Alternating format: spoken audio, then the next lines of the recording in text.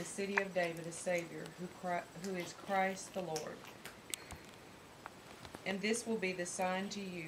You will find a babe wrapped in swaddling clothes, lying in a manger. And suddenly there was with the angel a multitude of heavenly hosts praising God and saying, Glory to God in the highest, and on earth peace and goodwill toward men. Okay, I just wanted to put that in there. That was That's all that. beautiful. That was gorgeous. That was beautiful, Candy. It didn't kind of turn out the way I planned, but Here, Dad. I'm all right. That's back up, Back up, back up, back, back up. Nana, is this Gavin's? Gavin. I love. Open.